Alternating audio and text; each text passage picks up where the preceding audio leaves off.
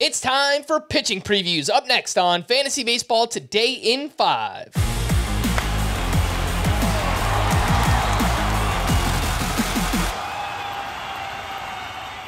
Welcome into FBT in 5 on Monday, February 19th. I am Frank Stampfl, joined by Scott White, and today we're going to focus mostly on a macro level view of the position and some strategy talk. Last year, Scott, MLB implemented new rules, shift restrictions, the pitch clock, bigger bases. It was all done with the intent to generate more organic offense, and that's exactly what we did. We saw league wide ERA and whip jump quite a bit for starting pitchers, especially compared to 2022.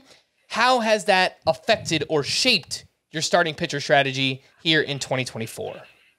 It's blown it up, Frank. It's it's been completely revolutionary. I've never seen a pitching landscape like this before in all my years playing fantasy because you know, during the during the juice ball era, obviously offense was was elevated, but it was elevated in a different way. It, it was elevated in a way that didn't affect all of the ranks of pitchers so much because runs were mostly be scored by way of home runs. So if you're a big bat misser, and if you kept the ball on the ground, if you did things to prevent home runs, you were pretty good. And and we saw some really high end pitching performances during the juice ball era.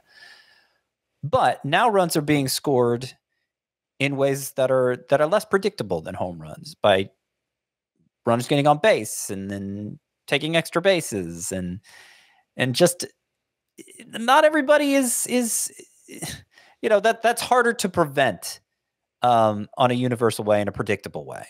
And so, like, everybody was subject to these blow up starts last year where things would be going along fine, maybe, and then this inning would come and, and there'd be, you know, a couple guys would reach and, and they'd be forced to maintain a high tempo because of the pitch clock and things would quickly spiral out of control. That spiral effect, that snowball effect uh, affected everybody. But while the upper ranks at starting pitcher, our expectations for them were lowered, they were still capable of those dominant starts that made up for it. I think the the the part of the pitching ranks that suffered the most was further down, the middle class, the middle to lower class, where you know, they, they'd still have decent enough starts that you'd want to use them most of the time. But they those those decent starts weren't enough to make up for the disaster starts. And it made it so that entire class of pitching, uh, it's like uh, 35 to 85 in my starting pitcher rankings. They became almost random number generators. Their ERA became entirely unpredictable. It was only as good as their last start.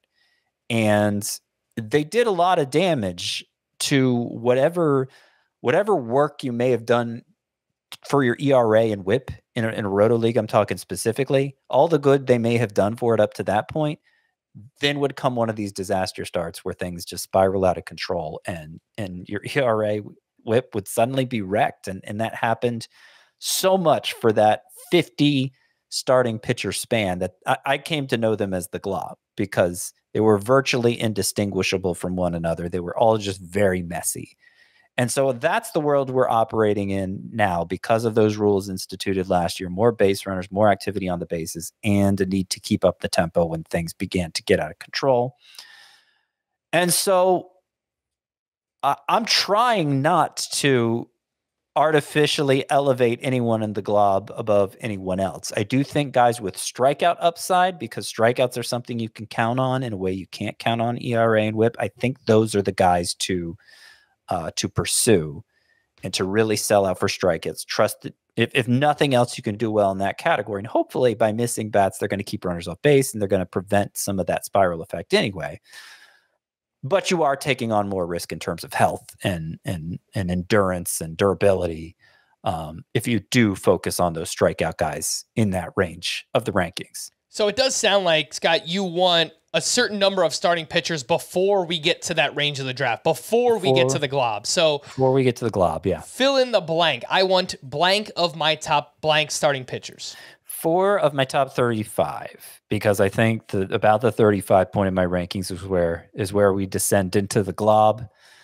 Uh, if it's a really deep league, then I may have to go for a true ace. I may even have to go for like a Gerrit Cole in round one because that it, it's hard to get four from from that like 15 to 35 range of my rankings. But for the most part, I don't want to go for a pitcher until um, until all the MVP caliber bats are gone, which is usually uh, round three, maybe in round four. And um, that's, you know, usually I'm going to get four from like the 15 to 35 range in my starting pitcher rankings if I do that.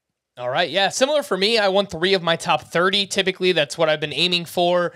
If a Zack Wheeler or Luis Castillo lasts until the third round of a 12 team league, if they fall to the right spot, I like targeting those players. If not, then I look for like a Logan Webb in round four or five, and I build around from that. I know Logan Webb doesn't get the most strikeouts, but you can complement him with other players who do get strikeouts, like Kodai Senga or Blake Snell or Cole Ragans later on in the draft. So uh, that's what I've found myself doing so far, and We'll see if it works soon enough. For more extensive fantasy baseball coverage, listen to the Fantasy Baseball Today podcast on Spotify, Apple Podcast, the Audacy app, or anywhere else podcasts are found. Thanks for listening to Fantasy Baseball Today in 5, and we'll be back again tomorrow.